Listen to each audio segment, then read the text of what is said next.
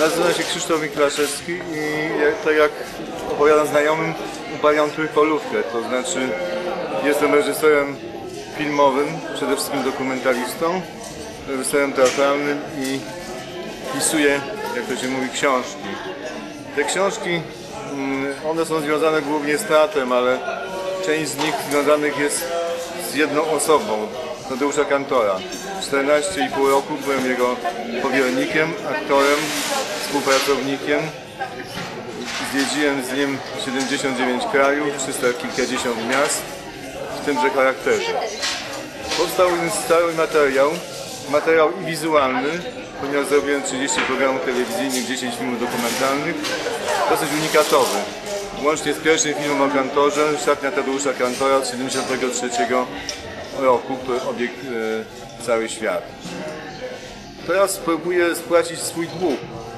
Nazywam to mm, czasami śmietnikiem idei, śmietnikiem e, zapisków. Y, Razem produkowaliśmy coś, co nazywa się śmietnikiem historii teatru, ponieważ Kantor przywiązał wielką wagę do tego, że wszystkie idee, wszystkie przemyślenia, wszystkie fakty są, powstają w kontekście, w kontekście całości. A więc artysta jest tylko ten, który wybiera pewne elementy.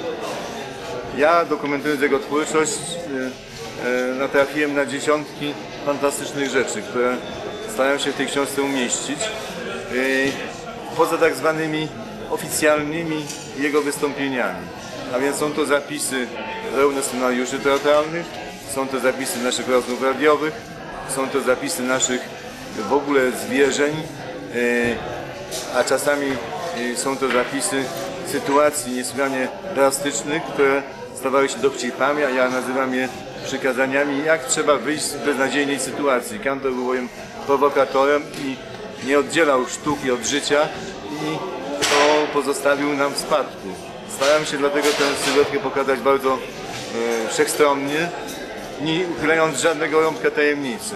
Nie jest więc to ani biografia, ani hagiografia, ani nie jest to także e, tylko e, wywód krytyczny.